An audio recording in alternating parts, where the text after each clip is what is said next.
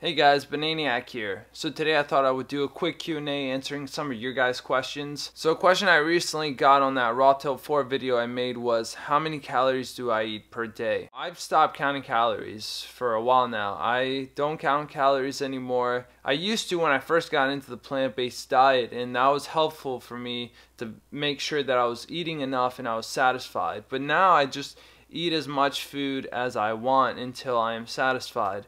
I don't have to count anymore because I know the foods that I have to eat. If I was to guess how many calories I eat, I would say I'd probably eat more than 3,000 calories a day. That's not me trying to hit a certain number as I used to. Uh, like before, when I was in my early days of plant based eating, I would try to eat over 3,000 calories on purpose. Now, I don't. Now I feel like my body is actually wanting to eat that many calories. I eat foods like rice, pasta, potatoes, lots of potatoes, bananas, of course, uh, fruit, vegetables, those kinds of foods. Now, do I recommend you eat like I do? Not really. I mean, it depends. You know, if you're doing exercise like I am, or even more exercise than me, then of course you need to eat like me or more than me. But if you're just sitting around all day, maybe have an office type of job and you're not doing much activity, you don't need to eat as much as I do. But the point I like to make is if you're eating the right kinds of foods, if you're eating predominantly whole foods, right, whole plant based foods, you don't really need to worry about calories or any other type of nutrient. You eat fruits, vegetables, whole grains, legumes, you know, they're low in calories anyway. So just eat till satisfaction. Those foods tend to have a lot of fiber, which is great because it's going to fill up your stomach and kind of give you a natural response to when you've had enough. Someone asked me of my thoughts about swimming. I made that video recently about um, like the five reasons why cycling is the best sport for weight loss and people are wondering about swimming. I think swimming is awesome and I love to swim as well. Um, but with that video, what I was trying to do is kind of try.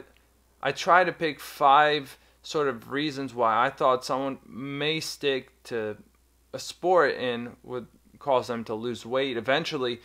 And I found cycling to to hit all those five reasons. Doesn't mean there's not any other reasons why people should stick to a sport, but with swimming, I think it's great. It's it's low impact right? Eh, there's no impact at all. You're in the water floating and you're using almost every single muscle. So swimming is great for that. You get a good cardio workout. Swimming can still be sociable, it can still be an individual sport. You got a lot of freedom there.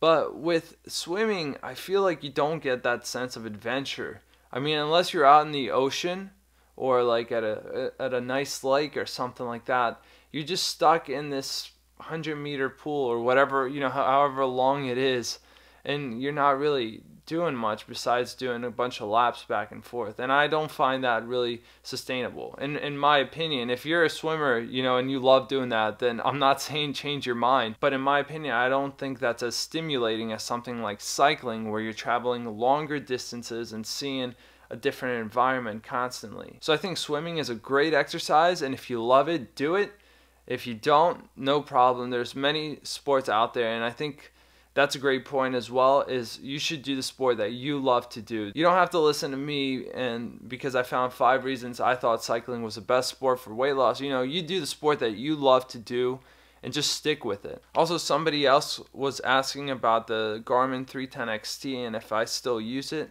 absolutely. That's the only garmin that i own is the garmin 310 xt I bought it for a bargain uh, offline. It was like um, I think I got it less than two hundred dollars, which retail I think is maybe around 300 and i got it bundled with a heart rate monitor as well which is great. I, I highly recommend having a heart rate monitor on.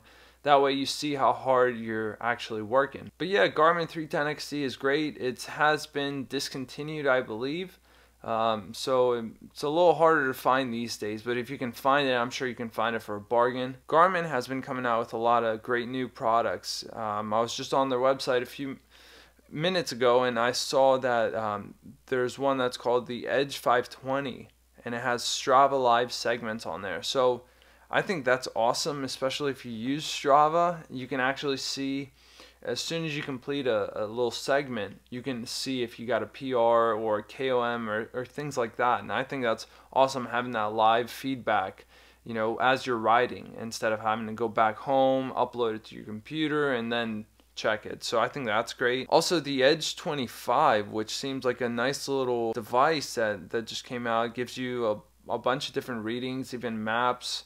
So um, that, that may be something that you may be interested in. And of course they have their higher range models like uh, the Edge 1000 which displays everything you need it to display. So yeah, a lot of great products out there. If you're looking for a multi-sport type of device, like the Edge, um, I'm sorry, like the Garmin 310 XT. There is the Garmin 920 XT that has come out. It is a bit more pricier, but a lot less bulky than the 310 XT. That's my only complaint about using the 310 is that it is so bulky. So the 920 XT does fit a lot nicer on your hand, and of course you can strap it on your handlebars and use it for the bike as well. Now this is a bit of a random question, um, but it has been coming up a lot lately, and that is which brand of lipstick do I use? Now I'm a bit offended that people have been asking me this as if I were to give my beauty secrets away. No, I do not wear any lipstick. My lips have always been naturally red in my whole life. I do not know why. Also, the way I edit my videos, I uh, adjust the saturation, the contrast a little bit, so it makes my lips look even more red than they are.